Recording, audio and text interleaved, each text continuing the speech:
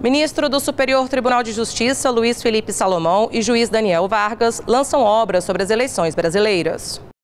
A origem do voto popular no Brasil, a participação feminina na política, a justiça eleitoral no mundo e os efeitos da revolução tecnológica nos processos eleitorais são alguns dos assuntos abordados no livro Eleições Brasileiras, de autoria do ministro do Superior Tribunal de Justiça, Luiz Felipe Salomão, e do juiz Daniel Viana Vargas. A vasta experiência jurídica dos autores garante uma exposição esclarecedora sobre o tema. A publicação tem 138 páginas e foi lançada pela editora Almedina Brasil.